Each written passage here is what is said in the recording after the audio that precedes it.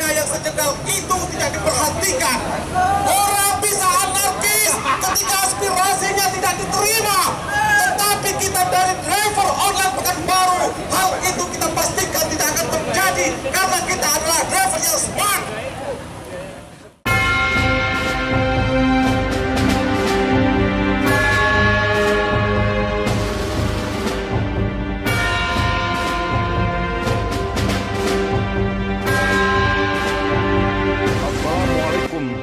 warahmatullahi wabarakatuh.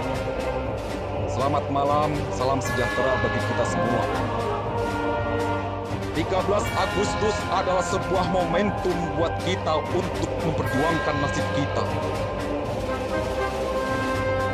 Jangan pernah berharap orang lain akan peduli dengan nasib kita jika kita sendiri tidak pernah memperjuangkannya. Jangan pernah bermimpi Allah akan merubah nasib kita jika kita tidak pernah berusaha untuk mengubahnya.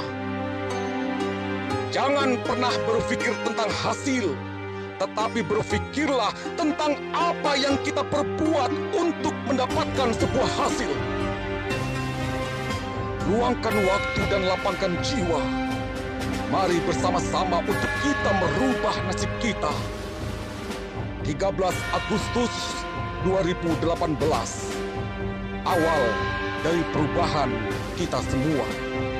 Assalamualaikum warahmatullahi wabarakatuh.